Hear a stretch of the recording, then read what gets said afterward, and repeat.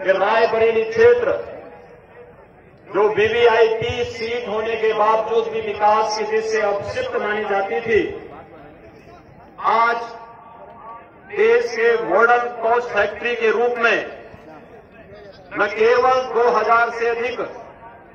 नौजवानों को नौकरी दे रही है, अभी तो हज़ारों नौजवानों के लिए रोज़गार लेकर के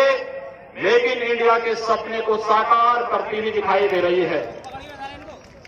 आदरणीय प्रधानमंत्री जी की कृपा से ही अभी जुलाई में रायबरेली में